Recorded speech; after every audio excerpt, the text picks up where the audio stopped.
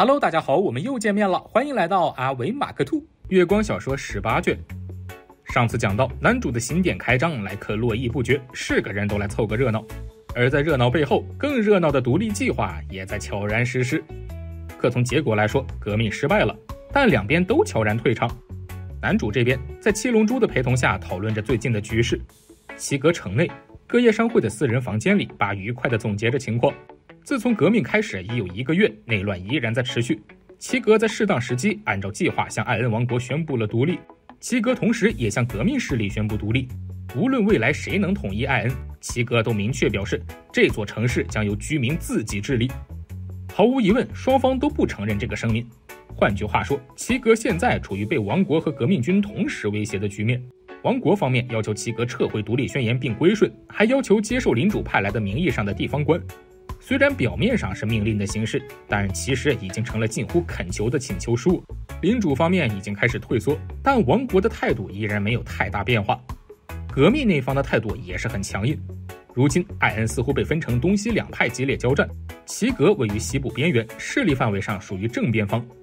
在这种局势下，冲突还在继续。应该说，这是革命派策略奏效的结果吧。西部的王国支持者和东部的革命支持者分别被敌对势力镇压得一干二净。在这种混乱中，一些领主也逃走了，或许会有能用的人才。男主想整理一份名单，然后交给北方努力经营领地的艾娃她们姐妹看看。看来艾恩的确已经处于末路了，邻近的港口城市好像要依附于齐格的保护之下，艾恩王国确实没什么人望。如果这个阶段战火蔓延到齐格城，那就意味着伦布朗特和彩绿的计划彻底落空。男主不由得从窗外望去，他现在要去确认战况。巡视了店里的情况后，男主顺着楼梯下到一楼，然后走出了店铺。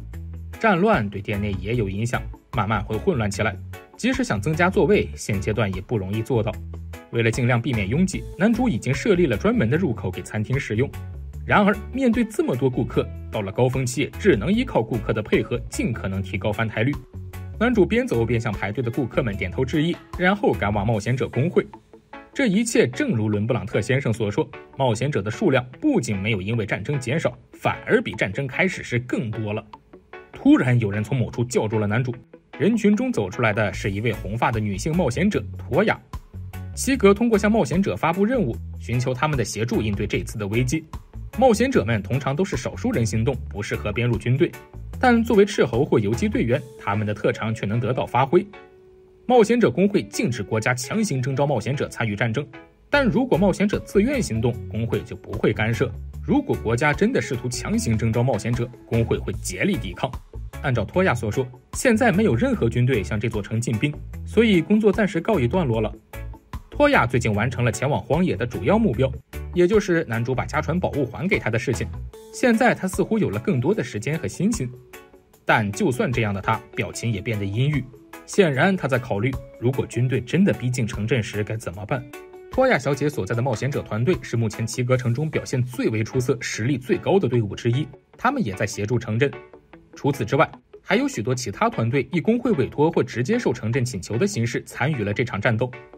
正如托亚小姐所说，冒险者是进攻型的专业人士，擅长主动出击。他们并不擅长守卫阵地的战斗，因此伦布朗特和城里的议会决定将冒险者作为游击队和奇袭部队使用。男主也认为这是正确的选择。对于附近的部队，冒险者可以通过隐秘行动进行袭击。如果是较远的敌军，各业商会会协助，悄悄地使用传送术将部队移动过去，然后通过奇袭不断击溃敌军，尽量避免正面交锋。当然。男主们也没有忽略切断敌军补给线等破坏行动。正如托亚小姐所说，他们的成果几乎是满分。目前还没有一支敌军能够抵达齐格，敌方应该也逐渐意识到，从一定距离外派遣部队到这座城市是不可能的。即便如此，托亚似乎还是对城市的防御感到担忧。退休后被商业雇佣的前冒险者很多，尤其是那些曾在这座城市活跃的人，显然没有一定的实力，这座城市的商人是不会雇佣他们的。换句话说，即使是私设部队，他们也确实很强。也正因如此，他所担心的就是没有核心人物可以带领这群人。但事情并没有那么简单，找到有丰富实战经验、指挥经验，并且没有被其他地方雇佣的优秀人才，这一点男主也能理解。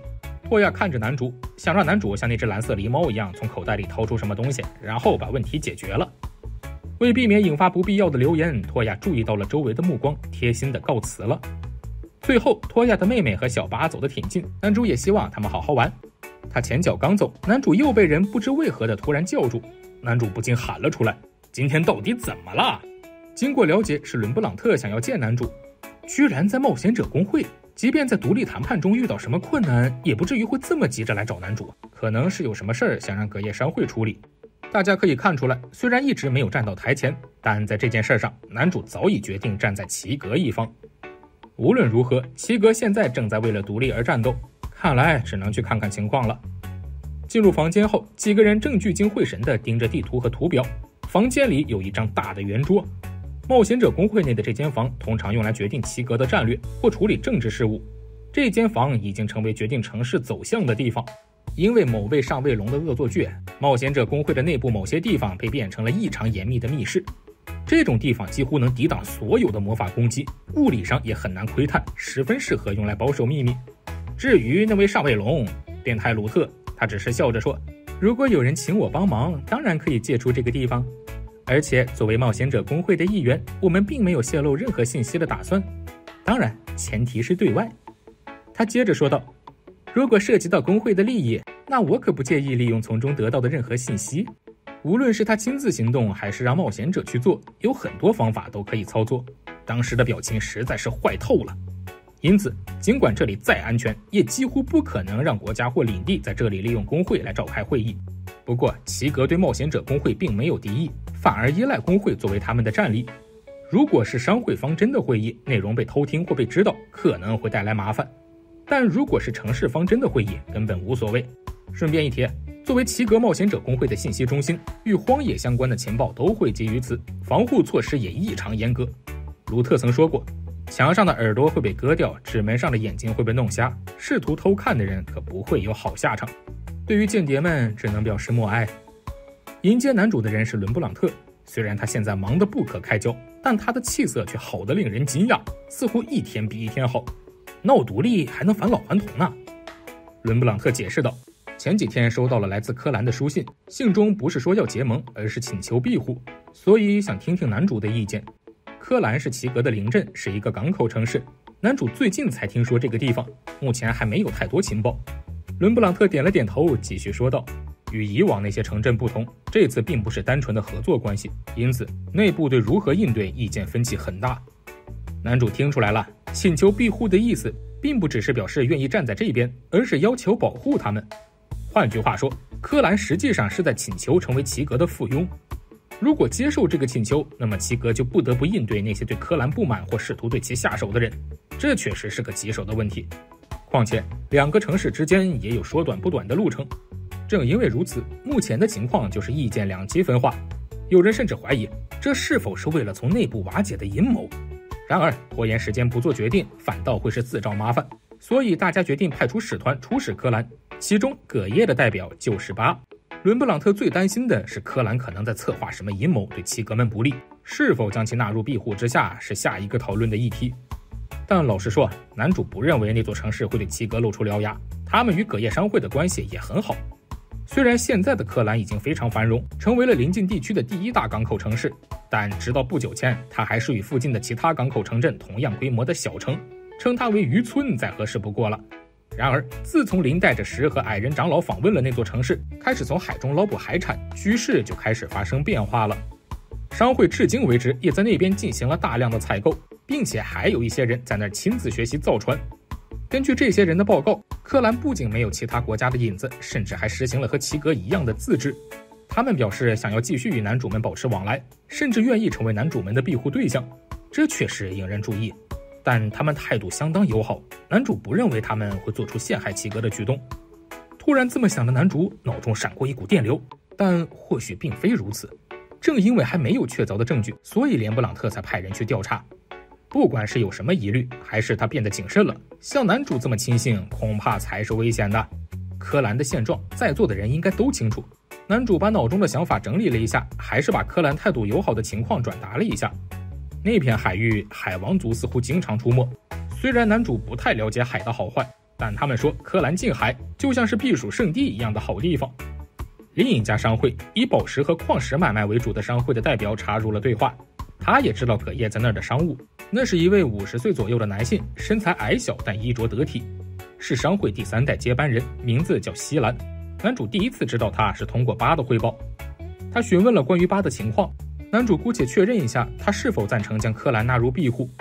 由于那里的水晶珊瑚，加上他被禁止出入柯兰，这次对他这个商人来说是一次好机会。至于是什么理由，肯定不是什么正经事儿，以市场的十分之一甚至百分之一的价格强行压价买之类的吧。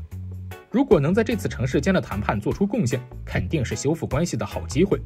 不过这个谈话让男主注意到了海洋材料的开发。男主对这个男人说道。虽然是长辈犯下的错误，但也深刻反省了过去的行为。请代我向柯兰的人转达问候。谢兰听到男主的话后，先是一瞬间愣住了，随后立刻露出了微笑，表示同意。他向男主行了一礼后，便回到了铺开地图的圆桌旁。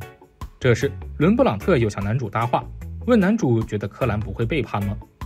男主说出了自己的想法，虽然没有任何确凿证据，但从印象上来看，不会。不过，考虑到目前独立的事情悬而未决，男主也明白，如果再将柯兰纳为附庸的话，会存在风险。这句话得到了伦布朗特“是吗”的反应。可他觉得有两点很奇怪：一是为什么是现在？虽然柯兰的发展不如齐格那般迅速，但他正处于一个要大发展的时期。而在这种时机下，明知道有危险却还主动向齐格寻求庇护，这一点让他很困惑。男主觉得也是。而他说到的第二点。更让男主意外。欢迎留言、点赞并订阅我们的频道，我们下期不见不散。